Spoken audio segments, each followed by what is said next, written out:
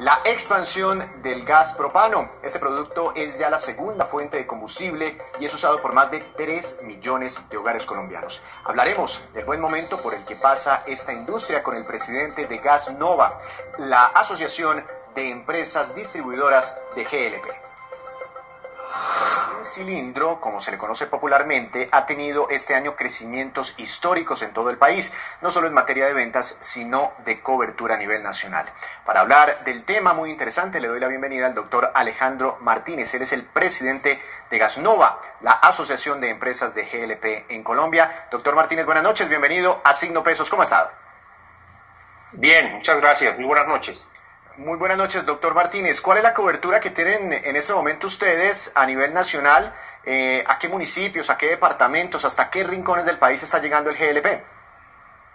Pues el, GLP, que es el que comúnmente la gente conoce como el, gas propano en cilindros, eh, tiene una cobertura del 95% de los municipios del país. Llega a más de 12 millones de colombianos. 12 millones de colombianos. ¿Y ese es un crecimiento en el último año de qué? En este año, de enero a, octubre, el crecimiento es del 4,8%. Tuvimos una caída muy fuerte en el mes de abril, por supuesto, al iniciar la cuarentena. Casi fue del 6%, pero ya vemos una recuperación, eh, básicamente impulsada por el sector industrial y comercial, gracias a la reapertura empresarial que está liderando el presidente Duque. Entiendo. Eh, ¿Y por qué cree usted que, digamos, este es un combustible que permite, por ejemplo, a los colombianos que todavía usan leña cambiarse a un combustible más amigable? Sí, es que eh, en el país hay 1.600.000 hogares, o sea, prácticamente 5 millones de personas que todavía cocinan con leña. Y eso genera problemas de salud muy graves. Es que dice la Asociación Mundial de GLP que cocinar con leña eh, equivale a tener 100 personas fumando en esa cocina. Entonces, y eso afecta básicamente a las, a las mujeres y a los niños. Ya el, el gobierno eh, tiene para el presupuesto general del año entrante unos rubros para subsidios para lograr que en el año 2022 haya 100.000 familias que hoy consumen leña para cocinar que se pasen al GLP. Es que es un problema muy grave, bueno, además de los problemas de, de deforestación, claro. Doctor Martínez, ¿cuáles son las características de los departamentos o los municipios donde más se utiliza GLP frente a los que los departamentos donde no es tan eh, común este, este combustible?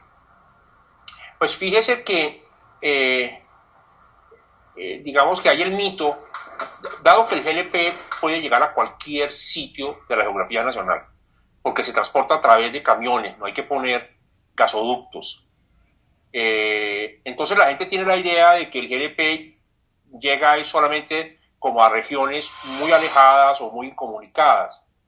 Eh, y resulta que, sí, eso es cierto, pero los departamentos con mayores consumos de GLP en el país son Antioquia, eh, Nariño, Cundinamarca, bueno, Bogotá tiene un consumo muy alto, el Valle, Santander tiene consumo muy alto. Digamos que los departamentos con mayor densidad poblacional son los que están consumiendo más GLP. En Antioquia, por ejemplo, esto se da en la medida en que teniendo una geografía tan quebrada, tan fuerte en las montañas, los antioqueños lo que hacen es poner GLP en vez de poner gas natural. Entonces, eso hace que sea el departamento que hoy en día consume más GLP en el país.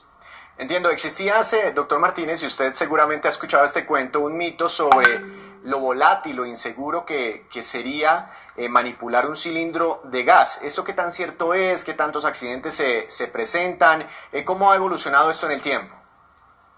Vea, los cilindros son, son bastante seguros.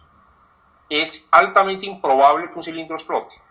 De hecho, para que, para que un cilindro tenga problemas, por ejemplo, si hay un incendio, se requeriría ponerle, digamos, un soplete al cilindro durante media hora para que empiece a derretirse el metal y haya un problema.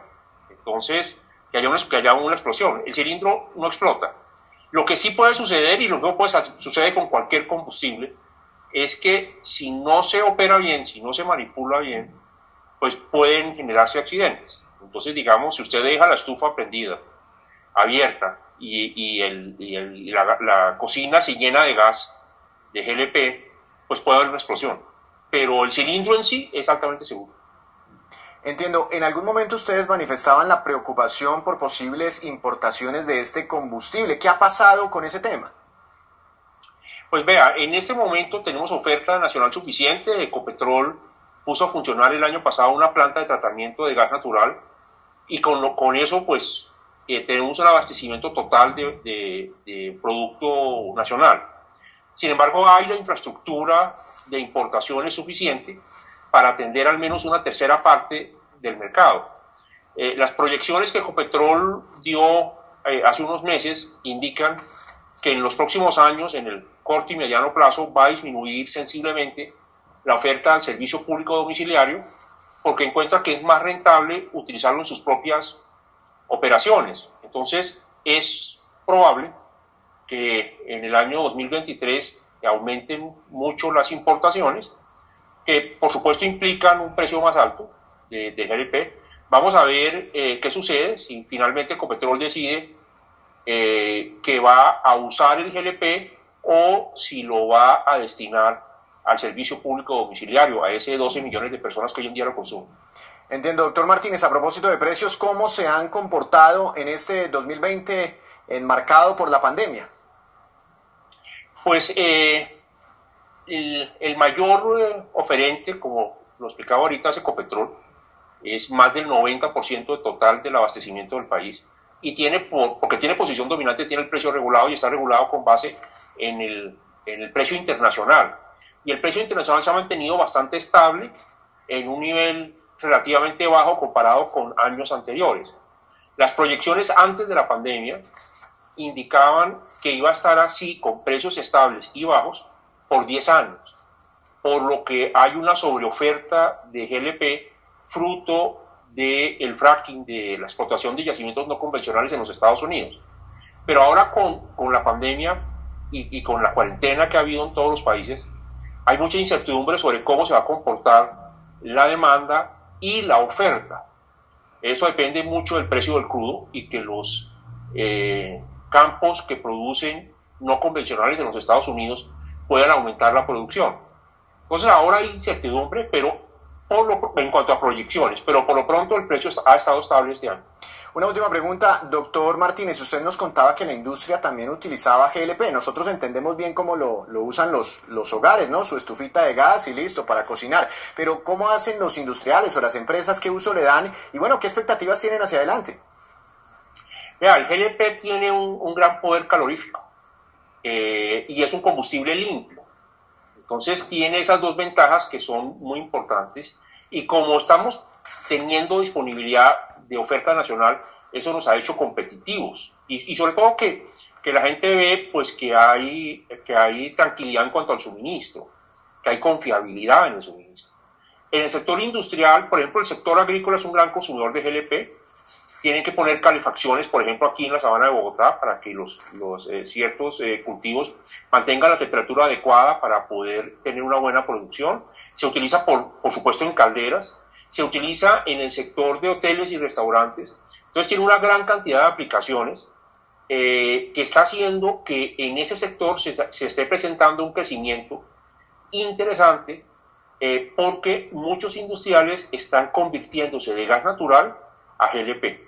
El año entrante yo esperaría y tengo optimismo en que con el programa de sustitución de leña que hablamos ahorita, con los subsidios que ya se aprobaron, y con el ingreso del auto GLP y del Nauti GLP, o sea, el GLP para el sector vehicular, que haya estaciones de gasolina, estaciones de servicio, que puedan darle a los, a los carros un, un combustible adicional, que es el GLP, pues tengamos un aumento en la demanda. Ya el gobierno expidió la primera de tres resoluciones Esperamos que la segunda la expida en los próximos días, en forma tal que en el primer trimestre del año entrante ya tengamos luz verde y que el año entrante los consumidores puedan escoger en las estaciones de gasolina si echan gasolina extra, si echan diésel o si echan GLP, que es auto GLP, que es un combustible limpio. Ah, bueno, pues estaremos una nueva opción entonces para los vehículos. Doctor Martínez, muchas gracias por estos minutos aquí para Signo Pesos de Noticias Caracol. Que tenga una feliz noche. No, muchas gracias a usted por invitarme. Gracias. Hablando entonces de todas estas alternativas. Y ahora vamos con la